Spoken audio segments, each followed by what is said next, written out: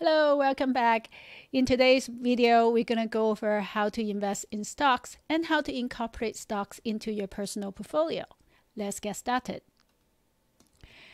You'll be go we'll be going over different types of stocks, uh, and the most important thing about stocks is understanding the trade-off between risk and return. Uh, and then we also look at how analysts and professionals go about analyzing stocks. And in part, in if you are ready to place orders, they're important to know about different types of orders. Um, we will also look at the advantages and disadvantages of different types of investment strategies when it comes to stocks. Finally, we're going to touch on um, other types of investments. These are called alternative investments. First, let's take a look at different types of stocks. Uh, common stocks, as the name implies, is the most common. Uh, common stock represents ownership in a firm, and as a owner of a, a, shareholder, you are entitled to certain rights. One of those rights are to receive dividend. Uh, other rights may include voting uh, on important uh, company decisions. Uh, voting rights may entitle you to elect board of directors and also decide on important company policies such as changing the bylaws. remember that companies, each company can have their own bylaws and they can be very, very different from company to company. And also uh, important uh, decisions such as mergers and acquisitions. Some companies have different classes of stocks, others only have one. When a company have different classes of stock, it's very important to know the specifics. That is because different classes of stocks may have very different voting rights. This is particularly common amongst technology companies. Uh, technology companies may have Class A stock, Class B, Class C. Again, the a, a Class A stock for one company may be very different from a Class A stock from another company. So knowing the details is important. Uh, there are technology company out there where some classes of stocks have no voting rights at all. And uh, other companies may have different classes of stock where one class of stock has each share will have 100 votes and other shares, other class will have only one vote per share. So details, details. Uh, there are also provisions that may allow one type of uh, one class of share to be convertible into multiple shares in another class. So again, there's no standard when it comes to stocks. Another type of stocks are called preferred stocks. These are much less common. Uh, preferred stocks, uh, the, the name prefer means that they uh, they get paid dividend before common stock holders can get paid dividend. So that's where the prefer comes. Uh, the term prefer means they get preferential treatment when it comes to dividend. However, preferred stock typically do not have voting rights. The dividends for preferred stocks are typically fixed. Again, very few companies have preferred stocks. Uh, they uh, utility companies are the most common. Uh, they are a lot more like bonds, uh, but the dividends can sometimes increase. So they are uh, so they have a little bit more opportunity for increase in dividend compared to bond uh, coupons we already touched upon corporate bylaws. Uh, every company has different bylaws. They specifies the rights and responsibilities of shareholders. Again, there's no standard in corporate bylaws. Each company has their own bylaws, so it's important to pay attention to the differences. So when you purchase a share of stock, what can you expect to get? The return from investing in stocks comes in mainly two forms. The first is dividends. Uh, dividends, the, the way that dividends work is there's no guarantee. The board of directors has the right to declare dividend. Once the dividends are declared, then the companies are obligated to pay them. However, they are not required. The dividend, a lot of times, uh, dividends are expressed as a dividend yield. Um, that's defined de uh, defined as the dividend divided by the share price. So this is a return on the price that you pay on the stock, as measured in dividends. In addition to dividend, the second type of return is capital gain, which is the difference between uh, your the price you pay for the stock and the price that you sell uh, when you liquidate the stock. And the capital gains yield again is a uh, percentage, uh, is the capital gain divided by the purchase price. That's again a return on your investment. The total return is the dividend yield plus the capital gains yield. So you get two forms of return dividend and capital gain. Uh, the tax consequences are important uh, and uh, and uh, as well as the total return. So different types of stock, you can expect the components to be different. So a growth stock will have a higher capital gain component compared to an income stock. An income stock will have a higher dividend yield component. The tax implication on the different forms of return that dividends are taxed as income, whereas capital gains uh, typically taxed at a different rate. So if you hold on to the stock for one more for yen, longer than a year, uh, you the tax capital gain will be taxed at the long-term capital gains tax rate, which is typically lower. So if you buy a growth stock, uh, even though your total return may be the same as an income stock, but the tax implication can be different. We had talked about the trade-off between risk and return. So now that you understand return, it's important to look into the risk of investing in stocks a very common measure of risk is the market risk, or it's called systematic risk. Uh, sometimes this is called beta. Uh, you, uh, the beta of the market is uh, standardized to one.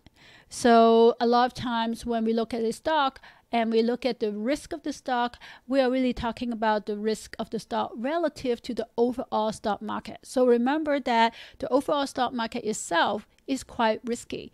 Uh, we have looked at that um, in the history of returns earlier. And therefore, when we say a stock is less risky than the market, it does not mean that it is not risky. It just means that it's less risky than the market as a whole.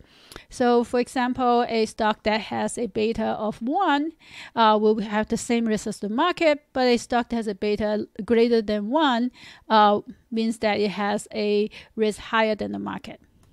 So let's take a more specific example. Let's say a stock has a beta of 1.2. That means it's 1.2 times higher risk than the market. So let's say the market goes down by 10%, then this stock will likely go down by 12% because 1.2 times 10% is 12%. It's not precise, this relationship. This is a statistical relationship, which means that on average, and average is a long time, uh, this, is, this will happen. But on a specific day or a specific month, that relationship may not be true, may not be precise. But overall, day after day, year after year, this is what you can expect. So this is the systematic risk. In addition to the systematic risk, a company can will also face unique risk. Uh, the unique risk is unrelated to the market. So this is the unsystematic risk. Uh, an example of unique risk could be the health of the CEO or some or a lawsuit that is unique to the company but not to the market as a whole, nor is it unique to the uh, nor is it common to the industry as a whole. The good news is that unique risk can be eliminated if you have a well diversified portfolio.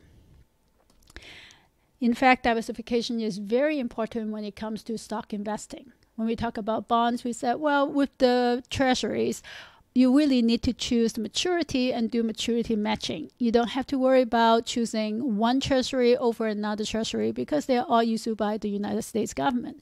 With stocks, that's a very different story every company is unique and every company carries unique risk. And in order to eliminate those unique risks, you need to have a diversified portfolio. So, how do we go about doing that? In order to create a well diversified portfolio, you need at least 30 to 50 stocks in your portfolio. So, in addition to having sufficient capital to create a portfolio of 30 to 50 stocks, you also need to pay attention to stock selection and portfolio management on a regular basis. Uh, the bottom line is that this is a full time job and it requires a lot of skill and discipline. There are tens and thousands of individual stocks traded in the United States, so obviously we cannot talk about each individual company. However, there are ways to classify or group companies into categories. And the investment community have different ways to classify stocks, and it's useful to know what those terms mean. Uh, one broad classification is dividing stocks into how they react to economic events. Uh, cyclical stocks are stocks that does better than average when the economy is doing well, and this stock will do worse than average during during down times. And uh, so, an example will be a company that make construction uh, machinery, thing Caterpillar, John Deere. This company make machinery that are used to do construction, and construction tend to be uh, higher during economic booms and slow down during economic downtimes. So these companies will be considered cyclical stocks. Defensive stock has nothing to do with defense or the military. Defensive stocks are stocks that will remain stable during the decline in the economy and these are stocks that will not outperform during an up uh, during an, an up market. Uh, a good example for defensive stocks are staples, uh, grocery stores, uh, fast food restaurants. Think about places that whose business is not affected by uh, how the economy is doing. So think of your day-to-day life, um, things that you consume, whether or not you're getting a bonus check or not those will be companies that are typically classified as defensive stock. Another way to classify stocks we already mentioned earlier, and that is the components of the return. So we already mentioned that growth stock is a stock that will ha- that will grow faster than average, and you expect them to pay uh, fewer dividends. Some of them may pay no dividend at all. Again, technology company and startup companies are good examples of that. Uh, investors expect that most of their return will come in the form of capital gain, and they expect the capital gain component to be much higher than an average stock. In contrast, an income stock is a stock that pays a lot of uh, dividend, and therefore, uh, that's what investor plan on their return being uh, delivered in the form of dividends. So that's another way to classify stocks. Some analysts classify stocks based on market size. You hear the term market cap a lot. Market cap here, cap stands for capitaliz- capitalization. And the way that you compute capitalization is you take the price of the stock times the number of shares outstanding. So market capitalization has to do with how much the stock is worth or the company is worth based on its stock price and not based on revenue or employee or the other measures that you may think of. So again, market capitalization is share price times number of shares outstanding. So large cap stock is issued by a company that has market cap over ten billion dollars. So these are the largest companies. So they're called large cap. Mid cap is somewhere between two to ten billion dollars. And then small cap is company that is less than two billion dollars. Uh, very few company has market cap less than two hundred and fifty million dollars. For those that are really, really tiny, they're called microcap. And those are not oftentimes publicly traded, meaning that you cannot buy stocks, these stocks on the stock market. Remember that the most important thing about stock investment and investment in general is that there's always a trade off between risk and return. So, the higher the risk, the higher the return. And in fact, all these different types of classification can be used as a proxy for risk. We talk about beta or systematic risk as one measure of risk. Uh, but this other classification can also be used as a proxy of risk. Uh, of course, a defensive stock that does well during downturn has less risk than a cyclical stock that does well when the economy goes up and does very poorly when the economy goes down. So that's higher risk. Um, similarly, growth versus income, a growth stock has higher risk uh, than an income stock. Um, the same for market cap. A large company will tend to have lower risk than a small company. So, if you find companies that are large cap, that has a large market cap, they pay dividend regardless of the market condition or the economic condition, and they uh, they can survive. They are defensive, meaning that they do they will survive economic downturns. These are companies that are less risky. In fact, uh, the investment community give this stock a special name. They're called blue chip stocks. Blue chip stocks are basically large company stocks that have a strong history of dividend payment, and they also have survived economic downturns in the past. So you can, uh, so this classification is useful. Uh, just keep in mind the trade-off between risk and return. We're going to pause the video here. When we come back, we'll look at how do uh, professionals analyze stocks. See you soon.